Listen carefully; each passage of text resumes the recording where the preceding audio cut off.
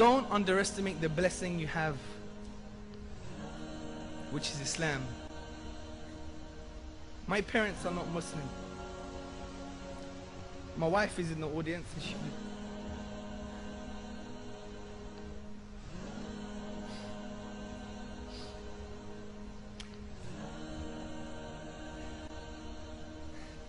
She knows how much I love my parents.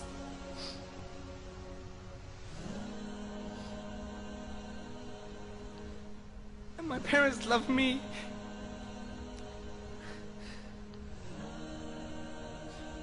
Every day, my dad says to me, he loves me. Many of us don't even have this as Muslims.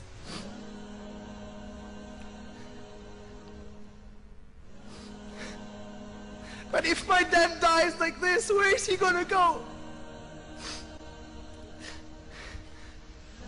Could pray for your parents. I can't pray for my dad when he dies. This is the reality, brothers and sisters. This is the reality. Don't underestimate the blessing Allah subhanahu wa ta'ala has given you.